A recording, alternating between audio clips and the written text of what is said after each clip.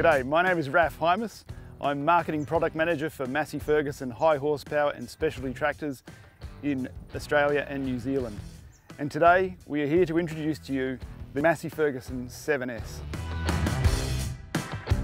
The new Massey Ferguson 7S fits into the range between the 6S and the 8S.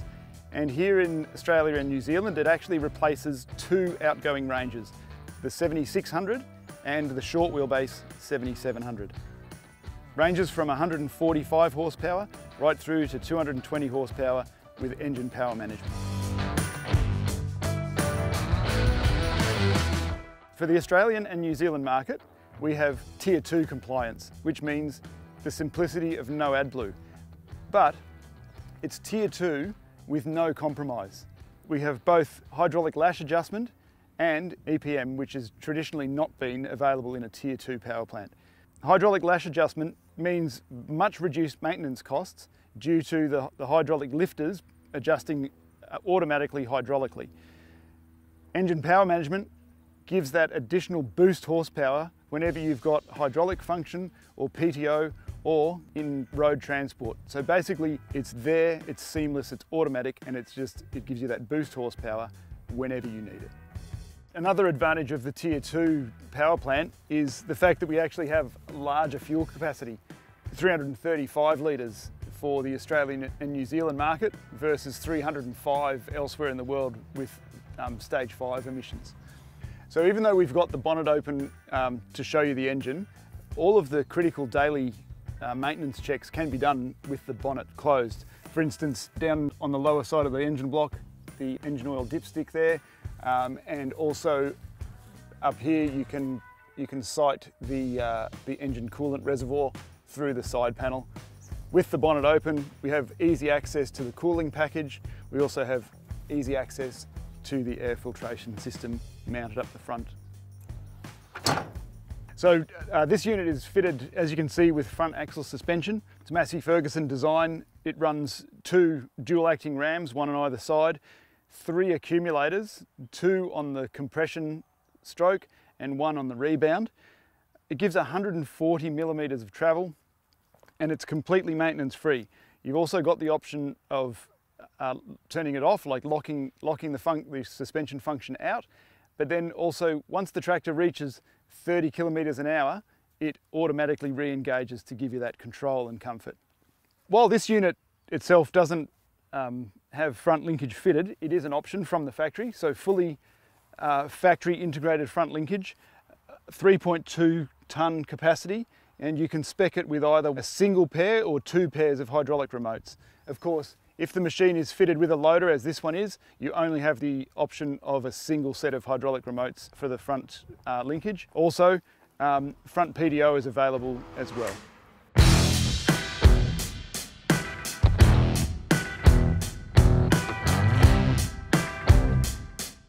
For the Australian and New Zealand market, we are speccing all machines with uh, the short straight bar axle for um, flexibility. You've got a full complement of, um, of weights available for ballasting.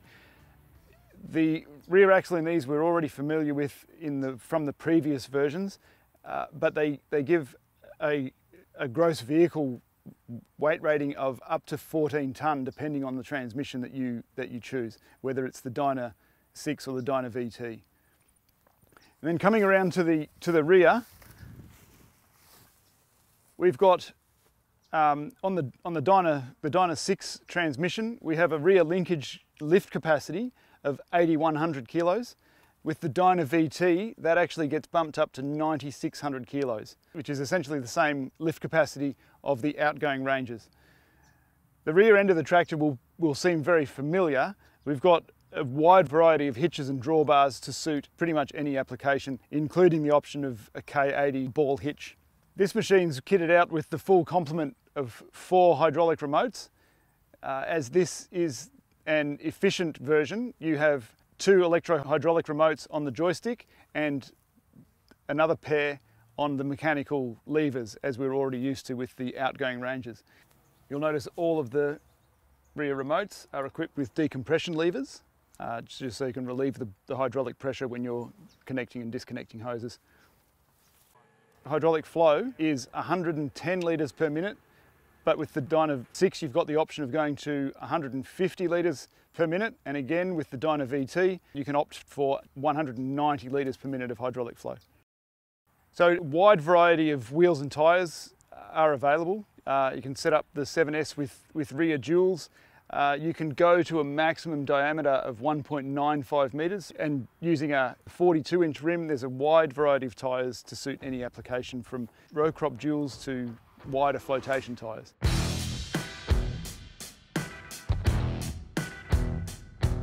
So you'll notice with the styling of the 7S, although it's obscured by the loader, you can see that sabre styling on the bonnet, which is a flow on from the 8S. Also, when you look at the frame of the cabin itself, you'll see the grey frame, which follows along with the family look of the 8S. And you'll see that through the rest of the ranges, the 6S, the 5S.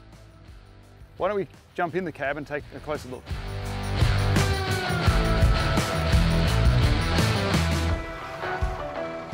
So we're now inside the cab of the 7S and while it looks quite familiar to the previous versions there are some, some changes. So a lot of them are cosmetic, new steering wheel, new dashboard layout, but the most important thing is really the new armrest and it is the same armrest as we are accustomed to now in the, in the 8S. The other key advantage um, to the new S-Series ranges all the way through is there's that commonality now. So we've got the Datatronic 5, um, which does all of your, your guidance, your tractor functions, um, your ISOBUS, all of those features. But then you've, you also have the option of adding the second FieldStar 5 screen if you want to have a dedicated uh, steer, guidance screen for your, for your steering and your ISOBUS. Um, familiar layout, you've got all of your tractor functions, your forward and reverse shuttle here, your cruise control settings, your um, engine speed memory. You have your linkage control. You can assign these to um, F1 and F2 to any number of different functions. Uh, single push of the auto steer engages your, your guidance.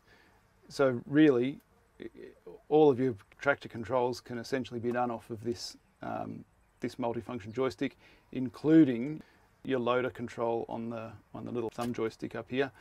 Um, but if if you're more sort of traditionally minded, you uh, can run your loader control off of the multifunction joystick over here. Um, you can shift up and down, you can shuttle forward and reverse, and then you can preset uh, a couple of different hydraulic functions on there as well. Then coming back here, we have uh, diff lock, on off, auto diff lock, auto four wheel drive or your four wheel drive engagement, your linkage position control here on the dial, uh, auto PTO, and then all of your telephone and uh, audio functions here as well and your PTO engagement.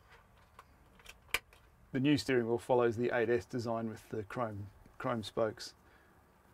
Coming back through the cab, you've got the two um, mechanical remotes. Again, this is an efficient cab, so we've got uh, two hydraulic functions on the on the multifunction joystick, and you can assign them through the screen. And then you've also got the uh, third and fourth remote on mechanical levers. As we saw in the 8S and we're going to see in the other S-Series ranges as well, brake to neutral. Uh, switch here on the A-pillar as well as your um, suspension lockout, uh, isobus, and this is your speed steer function. Everything's right there on the A-pillar, easy to get to and very convenient, straightforward.